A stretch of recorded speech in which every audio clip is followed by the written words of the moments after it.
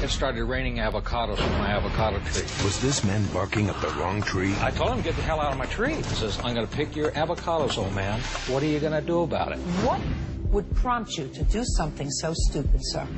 Guacamole. Next, Judge Judy.